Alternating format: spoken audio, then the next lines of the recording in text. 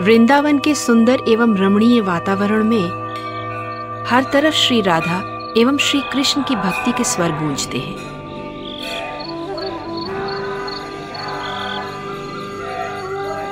साधु जन भजन क्रिया में मग्न रहते हैं एवं पशु पक्षी भी मानो निरंतर हरिनाम करते हैं।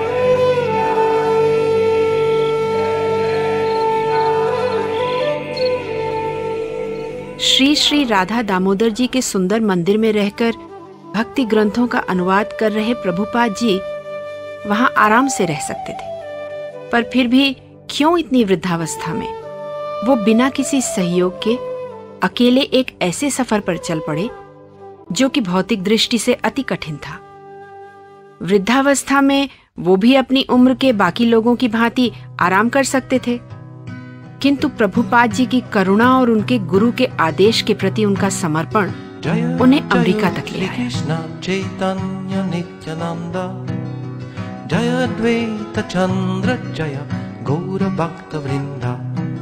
पर समझने की बात यह है कि प्रभुपाद जी अमेरिका अकेले नहीं आए थे।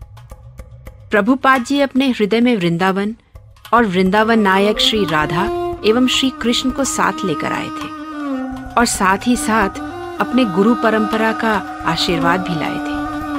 क्योंकि जिस इस्कॉन की स्थापना वो करने जा रहे थे, उसके द्वारा कृष्ण प्रेम की जो बाढ़ आने वाली थी, उसका साक्षी इतिहास को बना।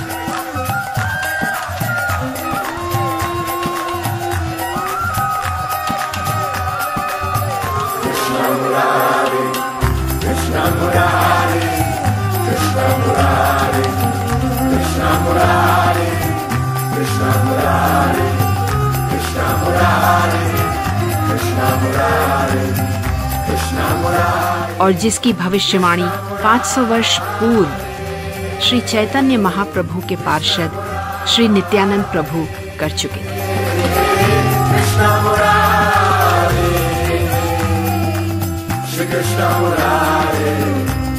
उन्नीस में प्रभुपाद जी द्वारा इस्कॉन की स्थापना के पश्चात, अब तक विश्व भर में लगभग पचानबे हज़ार भक्तों ने आध्यात्मिक दीक्षा लेकर हरि नाम का जप करने एवं वैष्णव नियमों का पालन करने का प्रण लिया है। पाश्चात्य देशों में रहने वाले भक्तों के लिए तो ये त्याग और भी महान है। उन्होंने तो कभी कृष्ण और राम का नाम सुना ही नहीं था। वो सब कैसे शुद्ध भक्ति में लग गए? इसमें सबसे बड़ा योगदान तो स्वयं श्री प्रभुपाद जी की पुस्तकों का है। भक्ति वेदांत बुक ट्रस्ट द्वारा 1966 से अब तक बावन करोड़ पुस्तकें एवं पत्रिकाएँ 50 से अधिक भाषाओं में प्रकाशित एवं वितरित की जा चुकी है। इनको पढ़ने मात्र से जीवन के अनसुलझे प्रश्नों का सटीक एवं प्रायोगिक उत्तर मिल जाता है। श्री प्रभुपाद जी द्वारा इस्कॉन की स्थापना के समय चिन्हित उद्देश्यों में से एक दूरगामी ध्येय था। सदस्यों को एकजुट करके एक सरल एवं प्राकृतिक जीवन जीने की प्रेरणा देना। विश्व में इस्कॉन के पैंसठ से अधिक खेत एवं पर्यावरण गाँव हैं। वैदिक और वैष्णव संस्कृतियों ने सर्वदा श्री कृष्ण की प्रिया गौ माता की सेवा पर विशेष रूप से बल दिया है। इस निश्चय को इस्कॉन ने सर्वथा प्रमुख रखा है। भक्ति द्वारा हमारे हृदय में करुणा की भावना उत्पन्न होती है। Hare Krishna food for life program दुनिया का सबसे बड़ा शाकाहारी भोजन राहत प्रदान करने वाला संगठन है। 1974 से चल रही इस सेवा के अंतर्गत 40 से अधिक देशों में भक्त 20 लाख से अधिक लोगों को मुफ़्त भोजन प्रदान करते हैं, जिनमें बेघर और बेसहारा बच्चे और बूढ़े शामिल हैं। इसका प्रमाण है 12 जून 2005 को स्टीव जॉब्स द्वारा स्टैनफोर्ड विश्वविद्यालय में दिया गया प्रसिद्ध भाषण। जिसके दौरान वो याद करते हैं कि किस तरह हर रविवार रात को सात मील चलकर वो हरे कृष्ण मंदिर जाते थे ताकि उन्हें सप्ताह में एक बार तो अच्छा भोजन प्राप्त हो सके। भारत में इस सेवा के माध्यम से प्रतिदिन 12 लाख बच्चों को मिड डे मील दिया जाता है।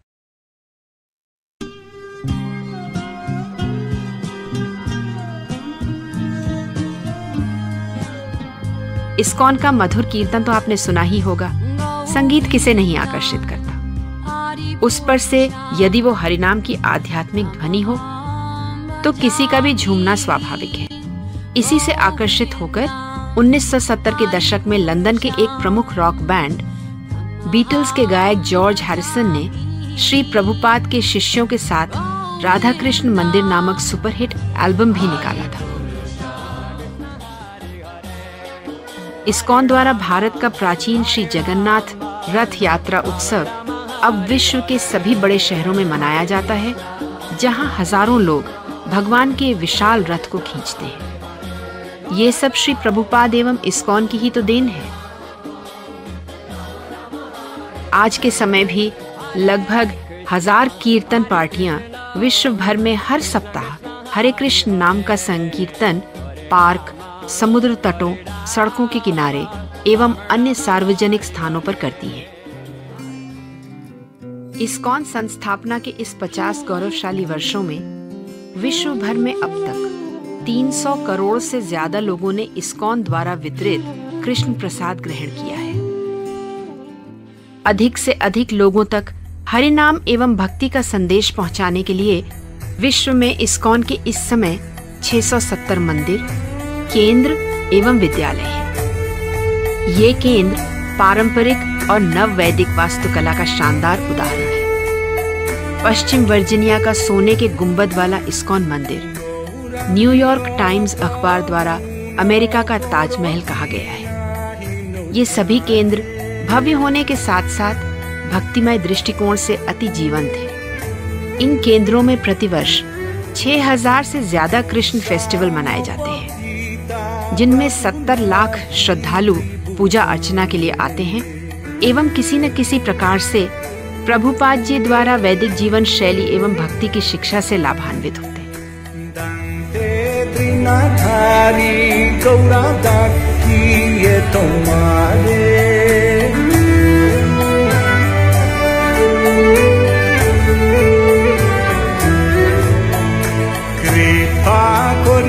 que soy amolido y.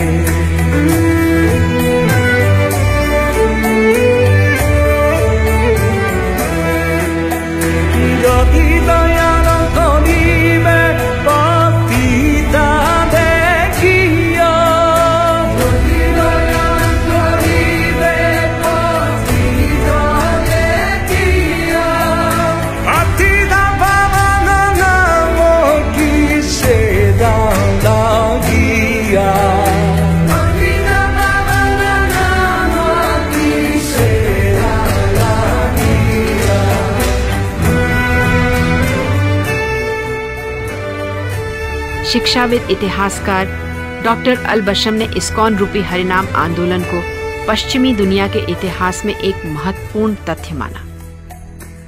भारतीय युवाओं से इस्कॉन को खास उम्मीद है।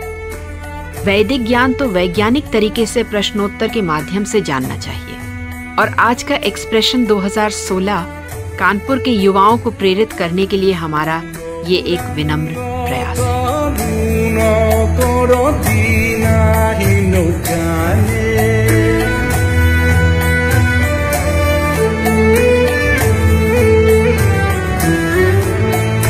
Μόσα μου τα πραβούνα